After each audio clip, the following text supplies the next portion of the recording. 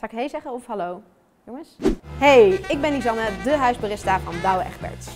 Ben jij nou een echte koffieleut, maar lukt het zetten van die perfecte espresso of koffie nou nog niet helemaal? In deze film gaan we alle negen stappen doornemen die je moet doen om perfecte koffie of espresso te zetten. Ben je er klaar voor? Wat hebben we allemaal nodig? Allereerst natuurlijk een goede espresso-machine, een koffiemolen, een temper, servies en natuurlijk koffiebonen. Daarnaast hebben we nog een droge schone theedoek en twee doekjes nodig. Eentje voor de melk en eentje om de boel hier schoon te houden. Wat is nou een goede koffie of espresso? Er zijn een drietal pijlers belangrijk. Allereerst natuurlijk de smaak. We willen een mooie volle smaak met een zuurtje en een mooie bitterheid. De geur. De koffie moet aromatisch ruiken.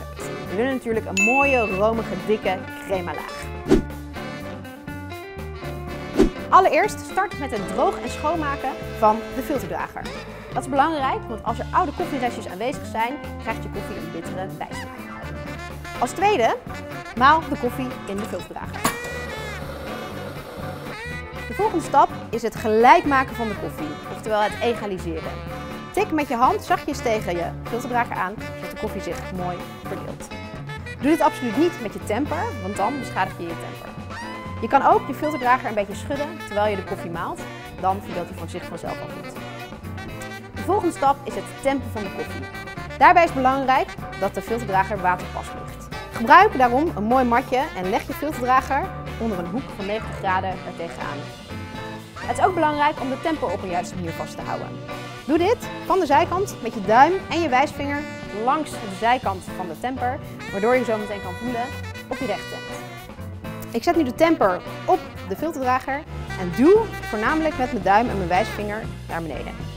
Zoals je kan zien controleer ik door met mijn duim en wijsvinger te voelen of die aan beide kanten even diep erin gaat. Vervolgens maak je de bovenkant schoon van je filterdrager. Vervolgens spoelen we de groep. Dit kan 1 of 2 seconden. Het is vooral belangrijk dat de oude koffie die nog in de groep zit eruit wordt gespoeld. Daarna maak ik even de onderkant schoon. Ik zet ook alvast mijn kopjes klaar. Ik draai vervolgens mijn filterdrager in de groep, zet de dubbele espresso knop aan en zet de kopjes eronder. Als je espresso klaar is, zorg er dan voor dat je ook je filterdrager weer uitkoelt. Daarna maak je hem weer even schoon. Doe hem terug in de machine. Ging het nou wat te snel?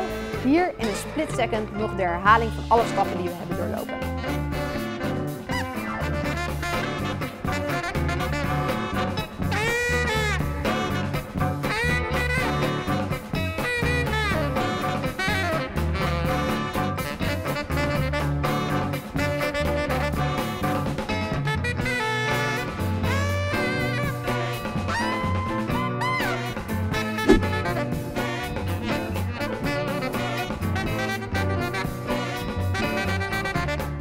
Nu ben je zelf in staat om de perfecte espresso of koffie te zetten. Wil je nou ook leren opschuimen of melk inschenken? Check dan de volgende video.